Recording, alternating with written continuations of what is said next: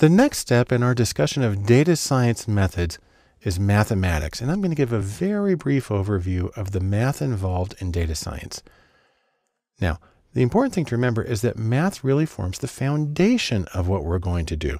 If you go back to the data science Venn diagram, we've got stats up here in the right corner, but really it's math and stats or quantitative ability in general.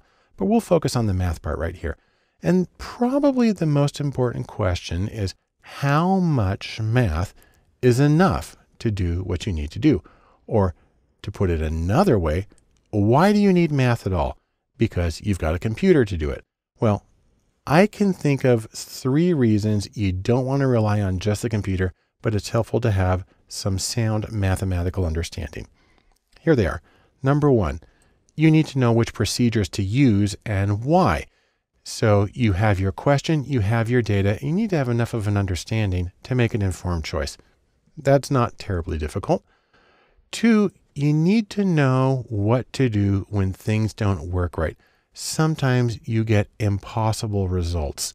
I know in statistics you can get a negative adjusted R squared. That's not supposed to happen. And it's good to know the mathematics that go into calculating that so you can understand how something apparently impossible can work.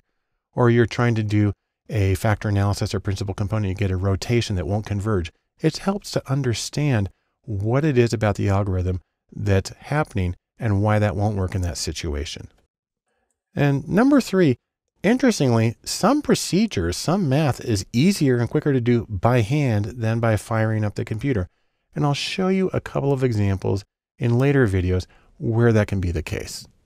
Now, fundamentally, there's a nice sort of analogy here. Math is to data science, as for instance, chemistry is to cooking, kinesiology is to dancing, and grammar is to writing.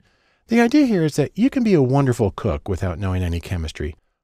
But if you know some chemistry, it's going to help. You can be a wonderful dancer without knowing kinesiology, but it's going to help. And you can probably be a good writer without having an explicit knowledge of grammar, but it's going to make a big difference. The same thing is true of data science. You will do it better if you have some of the foundational information. So the next question is, what kinds of math do you need for data science? Well, there's a few answers to that. Number one is algebra you need some elementary algebra. That's the basically simple stuff. You can have to do some linear or matrix algebra because that's the foundation of a lot of the calculations. And you can also have systems of linear equations where you're trying to solve several equations all at once. It's a tricky thing to do in theory, but this is one of the things that's actually easier to do by hand sometimes. Now, there's more math you can get some calculus. You can get some big O, which has to do with the order of a function, which has to do with sort of how fast it works. Probability theory can be important. And then Bayes' theorem, which is a way of getting what's called a posterior probability, can also be a really helpful tool for answering some fundamental questions in data science. So in sum, a little bit of math can help you make informed choices when planning your analyses. Very significantly, it can help you find the problems and fix them when things aren't going right. It's the ability to look under the hood that makes a difference.